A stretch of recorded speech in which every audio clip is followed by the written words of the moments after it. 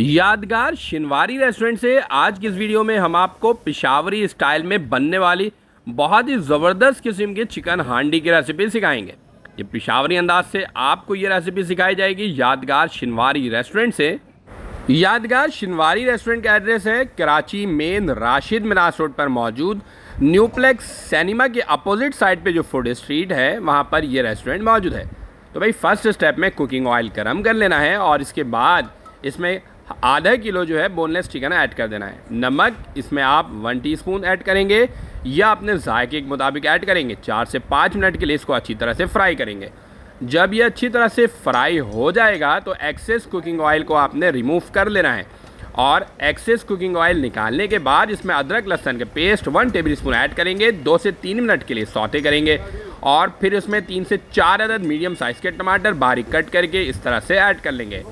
दो से तीन मिनट के लिए मिक्स करेंगे। थोड़ा सा पानी यहाँ पर आप ऐड करेंगे ज़रूरत के मुताबिक। ये जो शेफ़ है ना, ये बहुत ही प्रोफेशनल है और इनके पास एक बहुत वसी तजुर्बा है खाने पकाने में। तो इस वजह से इनकी जो हांडी है ना, इसका जायका कुछ ज़्यादा ही लाजवाब होता है। हाफ़ कप पानी ऐड करने के बाद कवर करके तकरीबन 10 मिनट के लिए कुक करना है। ये काली मिर्च ये ज़ीरा वाइट पेपर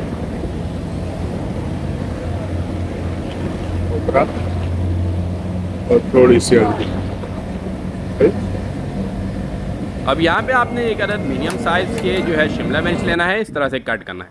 10 से 12 मिनट गुजर चुका है, अब कवर हटा लेना है, और हमने इसको अच्छी तरह से मैश कर लेना है। जब टमाटर अच्छी तरह से मैश हो जाए तो इसके जो स्किन है, जो छिलके हैं, उसको हमने बाहर निकाल लेना है। जब टमाटर अच्छी तरह से मैश हो जाए, और ग्रेवी का हिस्सा बन जाए तो फिर हम इसमें मसाले ऐड करेंगे। मसाले हमने ऑलरेडी आपको बता दिए हैं कि कौन कौन से इस्तेमाल करने हैं तो वो तमाम मसाले आप यहाँ पर ऐड कर देंगे। तो भाई ये पिशावरी स्टाइल में हम हांडी बना रहे हैं। अब ये तमाम मसाले जो हमने बताए थे यहाँ पर ऐड कर देंगे। चार से पाँच मिनट के लिए इसको अच्छी तरह से भूनना है। मसालों की भुनाई जितने अच्छे तरीके से करेंगे आप, उतना ही जायका इसका डेवलप होगा। अगर मसाले की बुनाई आप बेहतर तरीके से नहीं कर पाएँगे तो जायका नहीं बनेगा। अब यहाँ पे शिमला मिर्च एक अदद मीडियम साइज़ के कट करके ऐड कर देना है। बारीक कटी हुई शिमला मिर्च ऐड करना है। दो से तीन मिनट मज़ीद कुक करना है ताकि शिमला मिर्च का जायका भी इसके अंदर शामिल हो सके। तो भाई, ये बहुत ही ज़बरदस्त किस्म की चिकन हांडी की रेसिपी है। इसे घर पर ज़रूर ट्राई कीजिएगा। अब यहाँ पे दही ऐड करना है। आपने क्वार्टर कप दही ऐड करना है। दो से तीन मिनट के लिए अब इसको अच्छी तरह से एक बार फिर भुनना है। जब अच्छी तरह से भुनाई हो जाए तो नेक्स्ट स्टेप की तरफ़ बढ़ना है। घर पर चार से पाँच मिनट लग सकता है, क्योंकि इसकी फ्लेम घर पर काफ़ी लो होती है।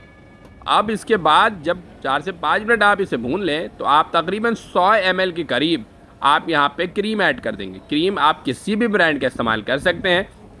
क्रीम ऐड करने के बाद फ्लेम को आपने थोड़ा लो करना है, और तकरीबन दो से तीन मिनट के लिए इसकी अच्छी तरह से भुनाई करनी है, और फिर फाइनल प्रेजेंटेशन पर इसके ऊपर हरा धनिया, और चाहे तो थोड़ा सा अदरक भी गार्निश कर सकते हैं। तो भाई देखें कितनी ज़बरदस्त किस्म की, लजीज किस्म की हांडी की रेसिपी आज की इस वीडियो में हम आपको शाह हम आपको सिखा रहे हैं यादगार शिनवारी रेस्टोरेंट से। यादगार शिनवारी रेस्टोरेंट का एड्रेस एक बार फिर बता दूँ, ये कराची में मौजूद Rashid Minhas road, Millenniums mall के पास जो है, न्यूप्लेक्स सिनेमा न्यूप्लेक्स सिनेमा के अपोजिट साइड पर जो फ़ूड स्ट्रीट है, वहाँ पर ये यादगार शिनवारी रेस्टोरेंट मौजूद है। तो गैस देखें कितने ज़बरदस्त किस्म की चिकन हांडी की रेसिपी तैयार हो चुकी है।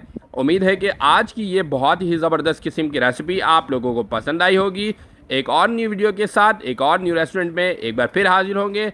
हमें दीजिए इजाज़त, अपना रखिएगा बहुत सारा ख्याल। फीडबैक से हमें ज़रूर आगे कीजिएगा। अल्लाह हाफिज़।